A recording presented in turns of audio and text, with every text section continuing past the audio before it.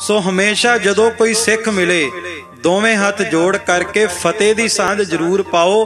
ਕਿਸੇ ਸਿੱਖ ਨਾਲ ਤੇ ਕੋਈ ਮਤਭੇਦ ਹੋ ਸਕਦਾ ਹੈ, ਪਰ ਗੁਰੂ ਦੀ ਬਖਸ਼ੀ ਫਤਿਹ ਨਾਲ ਕੋਈ ਮਤਭੇਦ ਨਹੀਂ ਹੁੰਦਾ।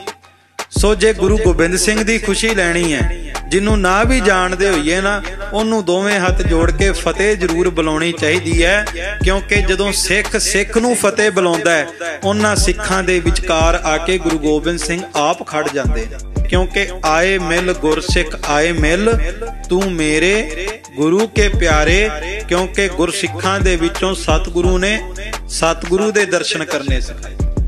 ਪਰ ਮਾਫੀ ਹੈ ਕਿ ਅੱਜ ਦੀ ਇਹ ਤਰਾਸਦੀ ਹੈ ਕਿ ਜਦੋਂ ਅਸੀਂ ਸਿੱਖਾਂ ਨੂੰ ਵੇਖਦੇ ਆ ਨਾ, ਤੇ ਮਾਫ ਕਰ ਦੇਣਾ, ਪਰ ਸਿੱਖ ਜਦੋਂ ਸਿੱਖ ਨੂੰ ਵੇਖਦਾ ਹੈ, ਸਿੱਖ ਨੂੰ ਗੁਰੂ ਨਹੀਂ ਨਜ਼ਰ ਆਉਂਦਾ।